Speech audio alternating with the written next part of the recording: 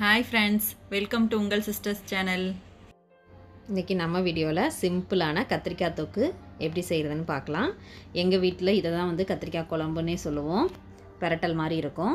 நாங்கள் இதுக்கு வந்து அரை கிலோ பச்சை கத்திரிக்காய் வாங்கி வச்சுருக்கோம். நம்ம என்ன கலர் வயலட் கலர் கத்திரிக்காய்னாலும் செய்யலாம். இதை கட் பண்ணிவிட்டு நம்ம ஃபஸ்ட்டு தண்ணியில் போட்டுக்கலாம். நீங்கள் காம்பு பிடிக்கும்னா அந்த காம்போட சேர்த்தே கட் பண்ணலாம். நல்லாயிருக்கும் இது வந்து தண்ணியில் நல்லா அலசி எடுத்துகிட்டு நம்ம எந்த பாத்திரத்தில் சமைக்க போகிறோமோ அதில் மாற்றிக்கலாம்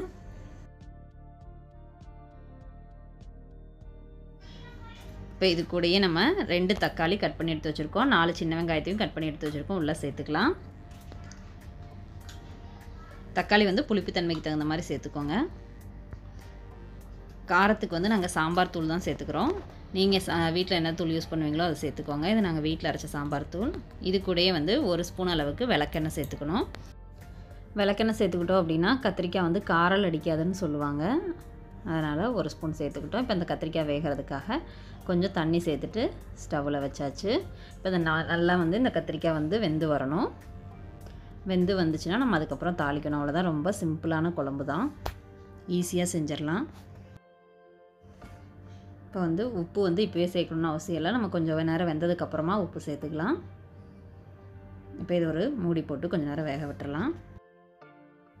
பாருங்கள் கத்திரிக்காய் கொஞ்சம் வெந்துருச்சு. இன்னுமே நல்லா குழைய வேகணும்.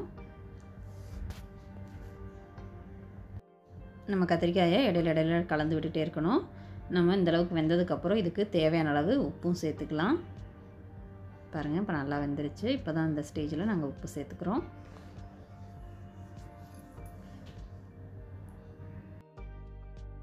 இப்போ இந்த குழம்புக்கு தாளிக்கிறதுக்கு ஒரு கடாயில் எண்ணெய் கொஞ்சமாக சேர்த்துட்டு கடுகு போட்டுக்கலாம். கடுகு பொறிஞ்ச உடனே இதில் வந்து சின்ன வெங்காயம் வந்து ஒரு அஞ்சு வெங்காயம் சின்ன சின்னதாக நறுக்கி எடுத்து வச்சுருக்கோம். ஒரு கொத்து கருவேப்பிலை. இதை சேர்த்து நல்லா வதக்கி விட்டுக்கலாம். நம்மளுக்கு தே வெங்காயம் நல்லா வதங்கினோடனே நம்ம இந்த தாளிச்சதை எடுத்து அப்படியே வந்து கத்திரிக்காய்க்குள்ளே சேர்த்துடணும். அவ்வளோதான். சூப்பரான கத்திரிக்காய் குழம்பு ரெடி ஆகிடுச்சு கத்திரிக்காய் தொக்கு மாதிரி இருக்கும். சாதத்தில் பிசைஞ்சு சாப்பிட சூப்பராக இருக்கும். நீங்கள் தொட்டுக்கு மாதிரி தொட்டுக்கிறதுக்கு வச்சுக்கிறனாலும் வச்சுக்கலாம். இப்போ நம்ம தாளித்ததை கத்திரிக்காய்க்குள்ளே சேர்த்துடலாம். அவ்வளோதாங்க சூப்பரான கத்திரிக்காய் தொக்கு ரெடி ஆயிடுச்சு. இது வந்து எங்கள் வீட்டில் ரொம்ப எல்லாத்துக்கும் பிடிச்ச குழம்பு. இதுக்கு வந்து வேறு எந்த மசாலுமே கிடையாது. நம்ம வீட்டில் சாம்பாருக்கு நார்மலாக என்ன தூள் போடுவோமோ அது போட்டாலே போதும்.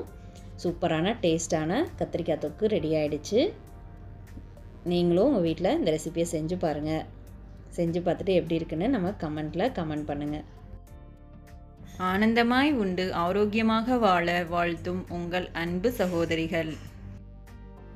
எங்களுடைய எல்லா வீடியோஸும் உங்களுக்கு பிடிச்சிருந்தா லைக் பண்ணுங்கள் உங்கள் ஃப்ரெண்ட்ஸுக்கும் ஃபேமிலி மெம்பர்ஸ்க்கும் ஷேர் பண்ணிக்கோங்க. ஃபர்ஸ்ட் டைமாக நம்ம சேனல் பார்க்குற ஃப்ரெண்ட்ஸ் எல்லோரும் சப்ஸ்கிரைப் பண்ணிவிட்டு பக்கத்தில் உள்ள பெல்லைக்கானையும் ப்ரெஸ் பண்ணி வச்சுக்கோங்க. அப்போ தான் நாங்கள் போடுற அடுத்தடுத்த வீடியோஸோட நோட்டிஃபிகேஷன் உங்களுக்கு கிடைக்கும். Thank you friends thank you so much